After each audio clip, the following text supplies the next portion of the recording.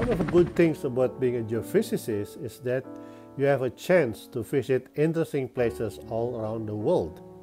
Some of the visits probably related to a conference, training, or just for research. In this video, I would like to share some of the pictures that I took during my trips to these interesting places. Today, we are going to visit Windischeschenbach in Germany.